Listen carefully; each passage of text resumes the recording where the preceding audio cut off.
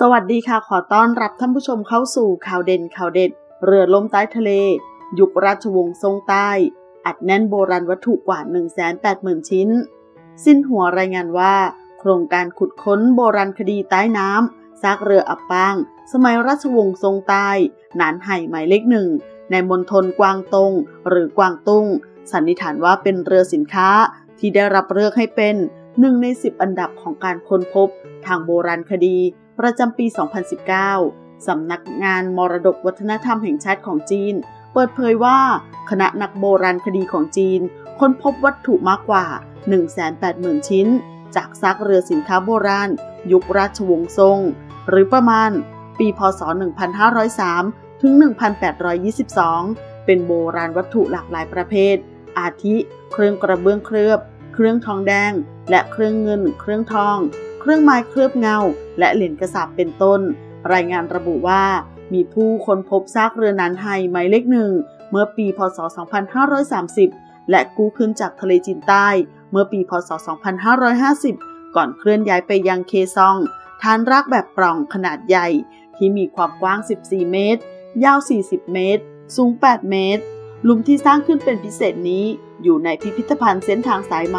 ทางทะเลกวางตง เกาะไหหลิน เมืองหยางเจียง มณฑลกวางตง คณะผู้เชี่ยวชาญกล่าวว่า วัตถุจากซากเรือ สะท้อนบรรยากาศการค้าทางทะเลอันรุ่งเรือง ยุคราชวงศ์ทรงและมีนัยสำคัญต่อการวิจัยประวัติศาสตร์ การต่อเรือ เซรามิก การขนส่งสินค้า และอื่นๆ ในยุคจีนโบราณ รวมถึงเอเชียตะวันออก และตะวันออกเฉียงใต้ ทั้งนี้การกอบกู้ การสำรวจ และการปกป้องซากเรือสินค้านันไห่หมายเลขหนึ่งถือเป็นตัวอย่างพัฒนาอันรวดเร็ว ในการขุดค้น ทางโบราณคดีใต้น้ำของจีน ตลอดระยะเวลากว่า 30 ปีที่ผ่านมา ซุนยง หัวหน้าทีมขุดค้นเรือหนานไหายหมายเลขหนึ่งให้สัมภาษณ์ว่า การขุดค้นต้องใช้เวลานาน โบราณวัตถุทุกชิ้น ต้องนำไปผ่านกระบวนการ เอาเกลือออก และทำให้แห้ง โดยเราทยอยแบ่งการจัดหาวัตถุพวกนี้เป็นชุดๆ และงานอนุรักษ์ไม้ อาจใช้เวลานานกว่า 10-20 ปี ขณะผู้เชี่ยวชาญระบุว่า เรือหนานหายหมายเลขหนึ่ง ให้เบาะแสนานับประการ ด้านการต่อเรือเซรามิก และการวิจัยการส่งออกทางสินค้า ทางเรือในยุคจีนโบราณ รวมถึงเอเชียตะวันออก และเอเชียตะวันออกเฉียงใต้ โดยรวมการค้นพบเรือลำนี้จะช่วยมนุษยชาติ ไขปริศนาการค้าทางทะเล ซึ่งครั้งหนึ่งเคยรุ่งเรืองในสมัยราชวงศ์ซ่งสำหรับราชวงศ์ซ่ง วิกิพีเดียระบุว่า เป็นราชวงศ์ที่ปกครองประเทศจีน อยู่ระหว่างปีพศ 1503 ถึง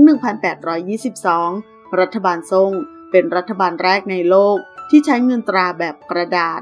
ราชวงศ์ซ่ง ถูกรุกรานโดยชนเผ่าต่างๆ อยู่เป็นระยะ เช่น พวกเซียน พวกชินตัน หรือเมืองเหลียวจึงมีศึกอยู่ตลอดมา